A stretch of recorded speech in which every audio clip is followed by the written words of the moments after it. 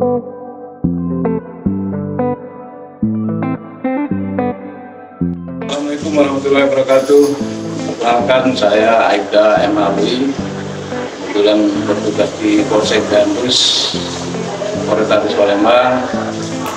Di samping tugas saya sehari-hari, di sini saya akan berbagi pengalaman yaitu di bidang usaha. Kebetulan saya membuka usaha yaitu produksi tempe yang bisa kita lihat ini di samping kita inilah kegiatan saya sehari-hari di samping saya menjalankan tugas.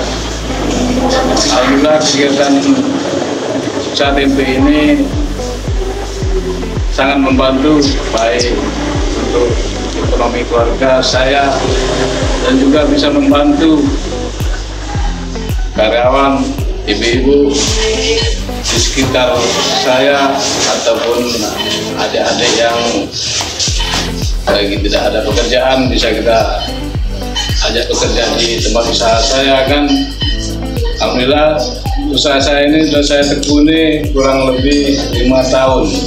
Sampai sekarang masih berjalan. Dan sangat membantu sekali terutama untuk mencukupi kebutuhan keluarga untuk menyekolahkan anak. Harapan saya untuk kepada rekan-rekan ataupun anggota Polri yang ingin berwirausaha ataupun yang sudah menjelang mau pensiun untuk